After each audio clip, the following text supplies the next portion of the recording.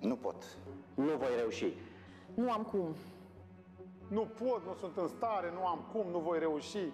Când a fost ultima dată când ai avut încredere în tine?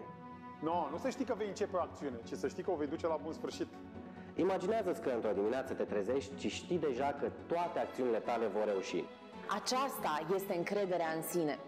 Optimistul vede partea plină a paharului, pesimistul pe cea goală. Tu trebuie să vezi sticla cu care umpli paharul de câte ori vrei. Trebuie să știi că șansa ta nu a trecut. Timpul tău este acum. Acționează. Crede în tine și toți ceilalți vor vedea în tine un învingător. Nu-i lăsa pe cei din jurul tău să-ți spună cine ești. Diferența dintre un campion și un participant stă în încrederea în sine. Acționează știind că vei reuși.